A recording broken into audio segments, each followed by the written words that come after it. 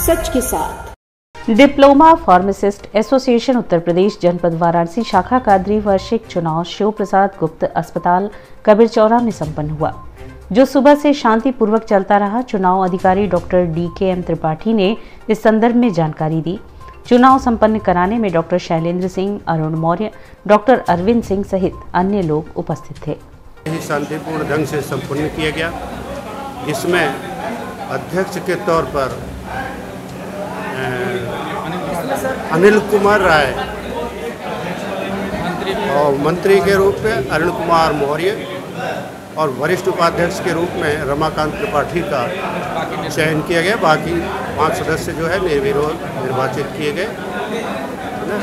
मैं इनके शुभकामना देता हूँ। देखिए समस्याएँ तो बहुत है हमारे फार्मासिस्टों की लेकिन उनको आ, हम लोग प्राथमिकता पे अपने कार्यकारिणी गठन होने के बाद जो प्राथमिकता के आधार पे आएगा, उनको समयबद्ध तरीके से उसको समाप्त किया जाएगा और किया जाए अधिकारियों से वार्ता किया जाएगा।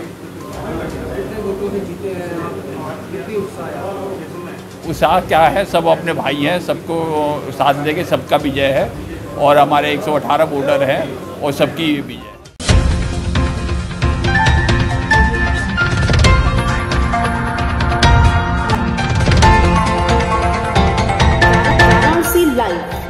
सच के साथ।